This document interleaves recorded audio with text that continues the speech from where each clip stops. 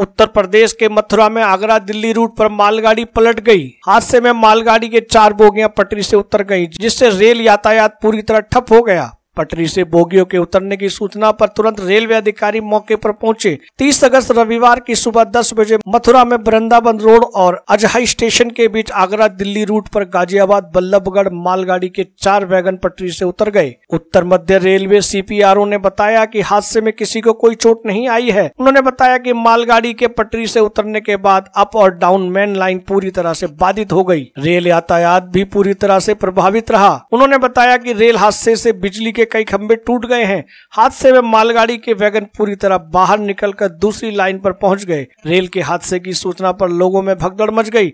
आसपास के लोग मौके पर पहुँचे। मालगाड़ी के पटरी से उतरने की सूचना उच्च अधिकारियों को दी गई। सूचना पर अधिकारी भी मौके पर पहुँच चुके थे। अगर आप ये वीडियो YouTube पर देख रहे हैं तो हमारे चैनल को सब्सक्राइब करें और बेल आइकन को दबाना ना भूलें। अगर आप Facebook पर यह वीडियो देख रहे हैं तो हमारे पेज को लाइक करें।